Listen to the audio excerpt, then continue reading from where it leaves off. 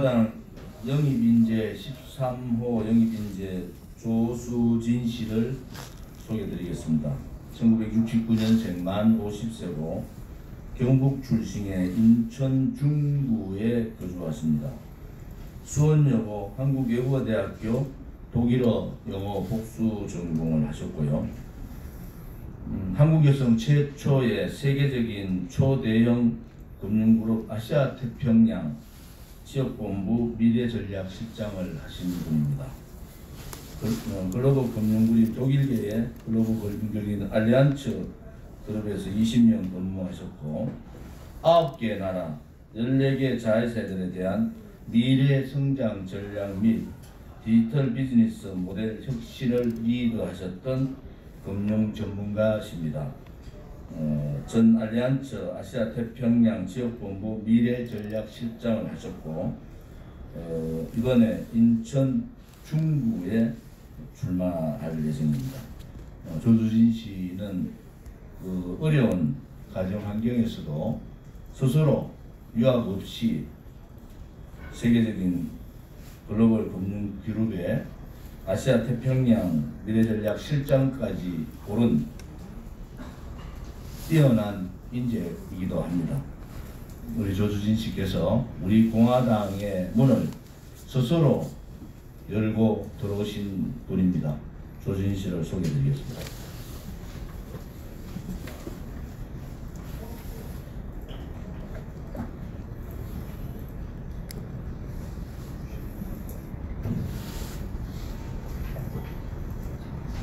마스크를 벗겠습니다.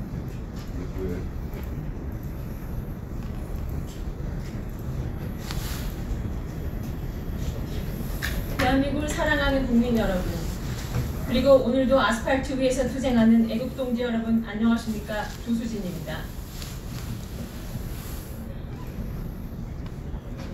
먼저 저를 우리공화당의 동지가 될 수 있게 문을 열어주신 조원진 대표님, 그리고 당직자 여러분들께 진심으로 감사드립니다. 저는 오늘 대한민국의 정통 우파 정당인 우리공화당의 희망의 전사가 되어 무척 영광스럽습니다. 저희 아버지는 대한민국 공군이셨습니다. 저는 아버지가 공부하셨던 대구 803 밑자락에 있는 공군 관사에서 태어난 공군의 딸입니다. 저는 한국외국어대학교를 졸업하고 독일계 글로벌 보험금융 그룹의 평사원으로 입사하여 독일 본사, 싱가포르 아시아 태평양 지역본부, 한국을 비롯한 자회사들에서 약 20여 년간 일하였습니다. 최근 수년간 아시아 태평양 지역 전략 실장으로서 9개 나라, 14개 자회사들에 대한 성- 미래 성장 전략 및 디지털 비즈니스 모델 혁신을 리드해 왔습니다. 지금부터 제가 가지고 있는 정치관에 대하여 말씀드리겠습니다. 여러분들은 정치란 무엇이라고 생각하십니까? 저는 참다운 정치란 국민과의 약속을 성실하게 지키는 것이라고 생각합니다. 즉, 정치를 한다는 것은 국민들이 보다 안전하게, 보다 행복하게, 보다 나은 미래에 대한 희망을 설계하며 살 수 있는 국가와 사회를 만들겠다는 약속을 하고 그 약속을 성실하게 지켜서 이행하며 이를 통하여 국민들에게 신뢰와 믿음을 주는 것이라고 생각합니다. 그러나 우리의 정치 현실은 어떻습니까? 신뢰와 진위를 목숨처럼 생각하고 국민과 약속을 지키기 위해서 노력을 하는 참다운 정치인은 별로 없고 배반과 위선의 정치를 하는 정치꾼들이 나라를 장악하고 있습니다. 그런 정치꾼들에게 영증을 느낀 민초들은 거리로 나와 투쟁하고 있습니다. 저는 이러한 안타까운 대한민국의 정치 현실 앞에 제 개인의 안위와 이익만을 위해 살 수 없다는 생각이 들었습니다. 그래서 저는 조원진 대표님의 뜻에 따라 우리공화당에서 정치를 시작하려 합니다. 제가 우리공화당을 선택한 이유에 대해서 말씀드리겠습니다. 첫째, 우리 공화당의 박근혜 대통령님에 대한 충성심과 국가 간의 감동받았습니다. 저는 박근혜 대통령님께 대한 신의를 목숨처럼 여기는 의리남 조원진 대표님과 자유민주주의 대한민국에 대한 확실한 국가관을 가지고 있는 애국당지, 애국동지 분과 함께 행동하고 싶습니다. 우리 공화당의 당원으로 투쟁에 동참하여 정치꾼들이 아닌 참다운 정치인들이 이끌어가는 대한민국을 만들고 싶습니다. 둘째, 박근혜 대통령님의 훌륭한 정책을 계승 발전시키고 싶습니다. 저는 박근혜 대통령님의 훌륭한 정책들이 결실을 맺지 못하고 사장되는 것이 안타까운 마음이 들었습니다. 특히 박근혜 대통령께서 준비하셨던 미래 대한민국의 먹거리 만들기, 즉 장조 경제 정책을 계승 발전시키는 임무에 도전하고 싶습니다.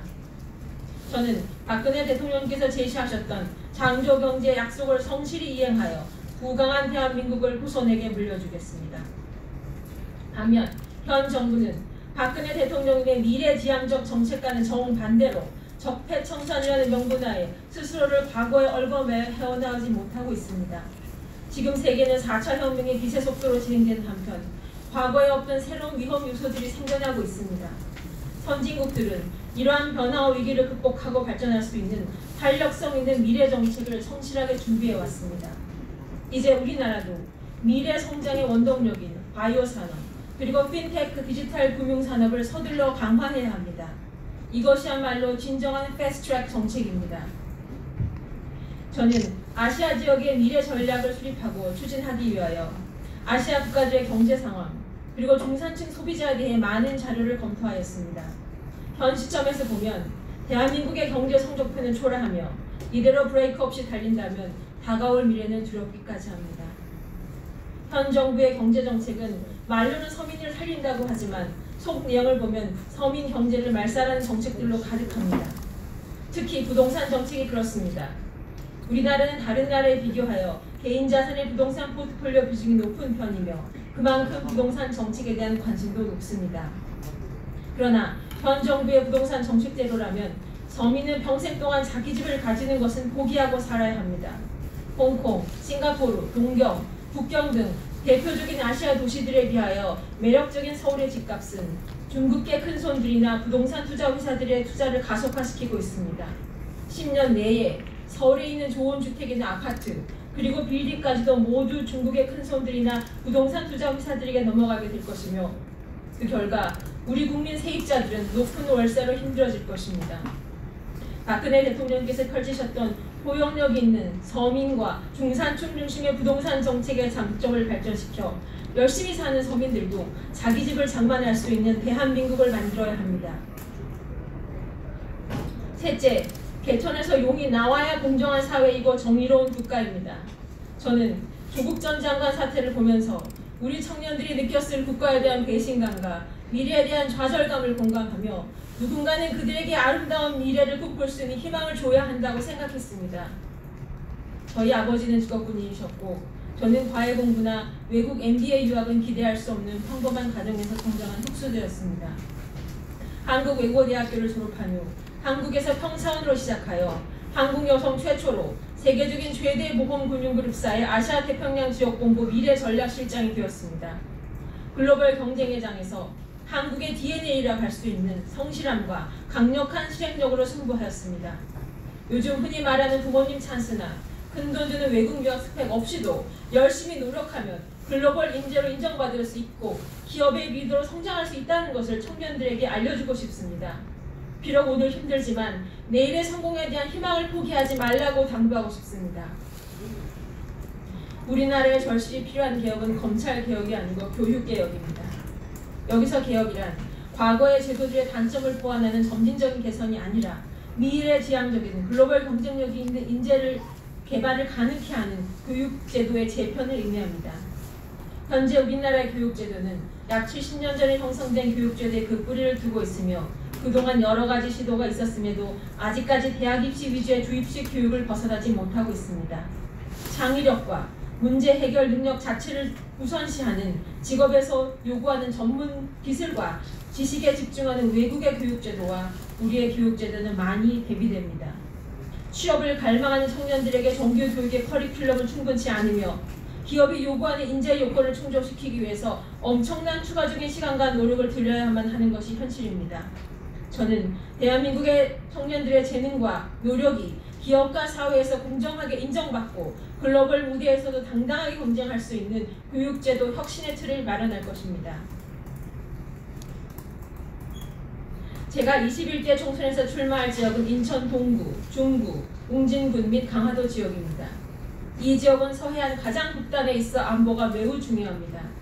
더 이상 비핵화니 동일이니 하는 허구의 늪에 빠져 국민들을 안보 위협에 시달리게 해서는 안 됩니다. 안보는 국민이 행복한 삶을 영위하기 위하여 가장 기본적으로 필요하며 나아가 국가의 경쟁력이기도 합니다. 세계적인 컨설팅 회사들 리포트를 보면 외국 기업들이 한국에 투자를 망설이는 이유 중에 하나가 현재 대한민국의 불확실한 안보 때문이라고 합니다. 저는 대한민국 자유민주주의 체제를 흔들림 없이 지킬 수 있는 안보를 확립하여 외국의 좋은 기업들이 한국을 거점으로 적극적으로 경제 활동을 할 수 있는 기반을 만들겠습니다. 싱가포르나 홍콩과 같은 도시국가를 벤치마킹하여 우리가 가진 자원과 자산을 적극 활용하여 인천 서해안 지역에 특화된 도시 개발을 추진할 것입니다. 사실 저는 오래전부터 특별한 질적 입지 조건을 갖춘 영종도에 많은 관심을 가지고 있었습니다. 그러나 영종도는 수년간 죽음의 도시처럼 발전을 멈추고 있습니다. 영종도의 지리적 입지 조건과 풍부한 전현 자원을 지혜롭게 활용한다면 미래의 갈- 발전 가능성은 무한합니다. 우선 인천국제공항의 이점을 활용하여 외국인들이 한국을 방문하면 반드시 들려야 하는 명소로서 발전시킬 수 있습니다.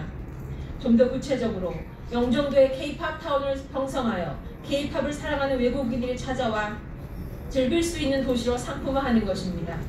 K-팝 공연을 직접 보거나 혹은 가상현실을 통해 체험하고 그들이 선호한 스타들과 사진 촬영을 할 수도 있습니다.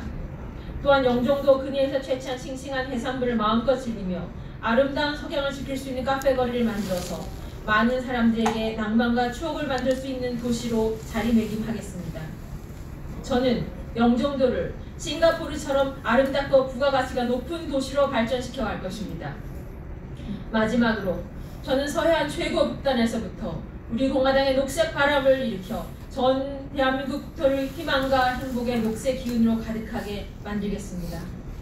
오늘 이 자리에서 큰 여정을 시작합니다. 저는 다음 세 가지 약속을 지키기 위해 혼신의 노력을 다할 것입니다. 첫째, 보다 안전한 대한민국을 만들겠습니다. 국민들이 안보 위협 없이 평화로운 자유민주주의 체제 아래 안전하고 건강한 삶을 영위하도록 만들겠습니다. 둘째, 보다 행복한 대한민국을 만들겠습니다. 양극화되는 빈부격차를 만드는 주요한 원인인 자산과 부동산 격차를 줄여서 서민과 중산층이 잘 사는 나라를 만들겠습니다. 셋째, 보다 희망찬 대한민국의 미래를 준비하겠습니다. 바이오 산업과 핀테크, 디지털 금융 산업 등 미래의 성장 동력을 개발하겠습니다. 그리고 대한민국의 청년들이 더욱 공정하고 세계적인 교육 과정을 통해 글로벌 인재로 성장할 수 있는 교육 개혁을 추진하겠습니다. 지켜봐 주십시오.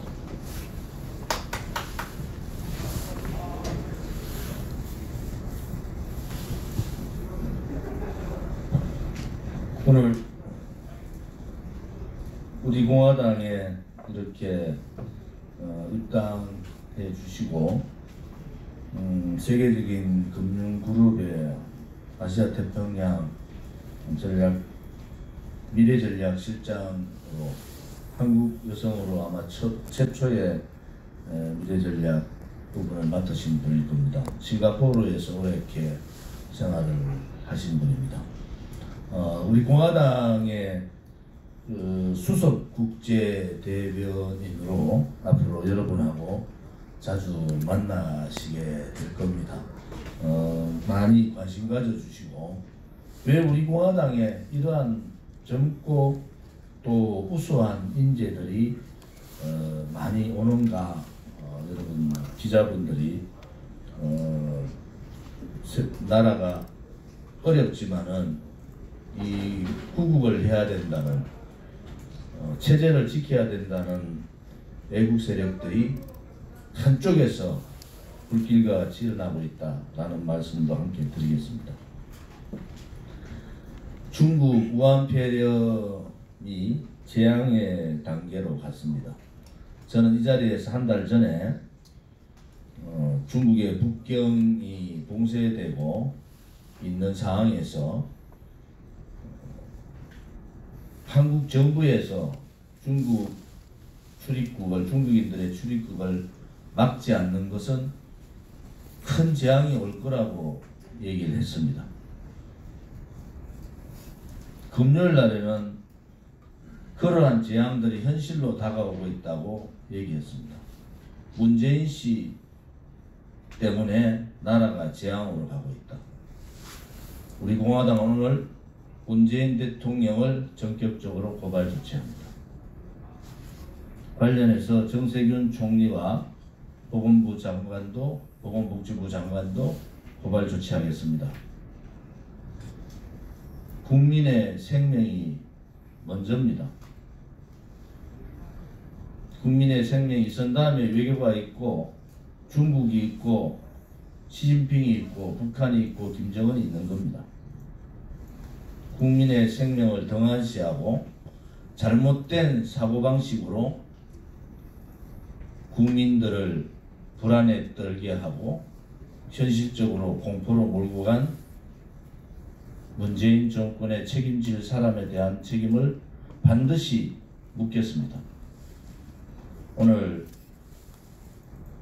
우리 회견 이후에 우리 공화당의 사무총장이신 서성근 변호사께서 구체적으로 고발 내용과 고발 조치에 대해서 말을 할 겁니다. 전문가들의 말을 무시하는 정권.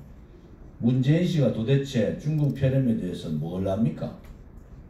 정세균 총리가 중국 폐렴에 대해서 뭘 알아요? 지금 복지부 장관이 중국 폐렴에 대해서 무엇을 압니까? 모르면은 전문가 말을 들어야 되지 않습니까? 의사협회에서 한 달 전 저희들과 비슷하게 어? 강력한 대책을 세워야 된다고 그렇게 강조했음에도 불구하고 여섯 명이 사망한 어제야 심각 단계로 옮기고 있는 이 정권의 무능과 무책임과 반국민적 행위를 용서할 수가 없습니다. 반드시 책임을 묻고 법적 처, 처분을 받도록 하겠습니다. 지금이라도 막아야 됩니다. 왜 북경은 모든 아파트와 학교를 봉쇄하는데 우리만 유학생을 받아야 됩니까? 유학생을 받은 다음에 대책이 없지 않습니까? 지금 중국에서는 한국으로 일단 건너가자라는 그러한 여론들이 형성되고 있습니다. 왜? 의료시설뿐만이 아니라 한국에 건너가면은 충분하게 그것을 막을 수 있다. 본인들이 한국의 의료시설에 의탁할 수 있다라는 그러한 중국 소위 말하는 인민들의 여론이 있는데도 불구하고 이러한 위험한 여론들이 형성되고 있는데도 불구하고 한국 정부는 안일하게 아직까지도 중국인들을 중국 위에 한국 출입을 막지 않고 있습니다. 심각한 상태가 지났습니다. 이거에 대한 책임은 누군가는 반드시 져야 됩니다. 그냥 안일하게 국가가 능력 없는 무책임한 정부가 하는 행위 이상의 상황들이 지금 전개된 겁니다. 한 달 전이라도 우리 공화당의 입장을 받아서 출입을 막았으면 이런 사태까지 벌어지지 않습니다. 교육부 장관이라는 자는 도대체 유학생을 데려와서 어떻게 하겠다는 방법이 없어요. 지금 학교 시설에 수용 시설이 됩니까?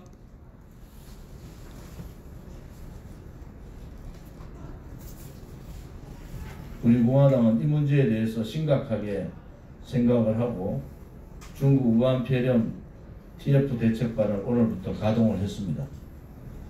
전문 의사분들과 그게 관련되는 분들이 매일 같이 회의를 통해서 대안을 제시하고 잘못된 정부 대응에 대해서 비판도 함께 하겠습니다. 감사합니다.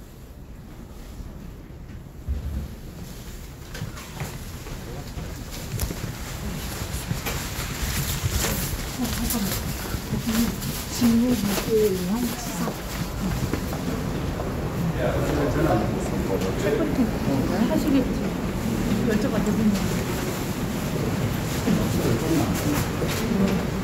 저도 쓰고 아 쓰고 아니 턱을 제가 이제 턱을 하는데 쓰고 나도 쓰고요. 백브리핑 하실 네.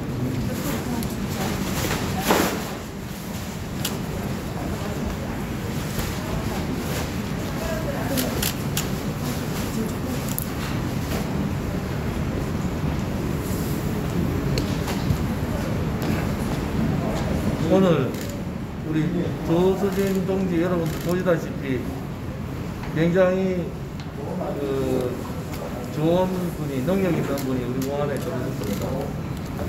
어, 이번 수요일 날, 목요일 날, 금요일 날 연속적으로 인재 발표를 하겠습니다. 수목권 그래서 수목권 지역을 연속적으로 인재 발표를 하도록 준비를 하겠습니다. 지금 많은 분들이 들어와서 지금 수요일은 정해졌고 목요일은 저일 중에 있습니다. 금요일은 정해졌고요.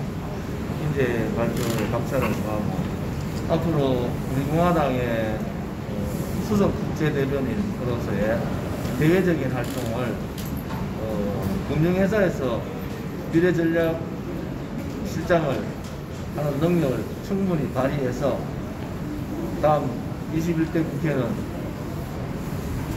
우리 공화당의 국회 대변인으로 역할을 하실 수 있도록 기대를 해봅니다. 어, 아무튼 우리 공화당에서도 지금 그 중국 폐렴에 대한 부분을 상당히 심각한 상태로 보고 있습니다. 좀 이따가 사무총장께서 고발 조치에 대해서 발표를 하겠습니다만은 있을 수 없는 짓들을 했습니다. 그들이. 그러고는 어, 특정 종교의 특정 지역에다가 지금 화살을 돌리고 있는데 있을 수 없는 일이다. 우리 대구가 어, 오늘이라도 특별재난 지역으로 빨리 선포가 되면 좋겠다. 대구 경북이 그런 입장도 밝힙니다. 한 말씀 마지막 한 말씀 하세요. 예, 어, 아까 마스크를 벗겼습니다. 어, 다시 한번 어, 우리 조원재 대표님 그리고 당직자 여러분들께 감사드립니다. 어, 그리고 무엇보다도 저는 오늘 이 자리에서 제가 우리 정통 우파인 우리 공화당의 희망의 전사가 된 것이 무척 영광스럽고 그리고 그 여정을 여러분들께서 함께 응원해 주시고 지켜봐 주시기를 부탁드리겠습니다. 감사합니다.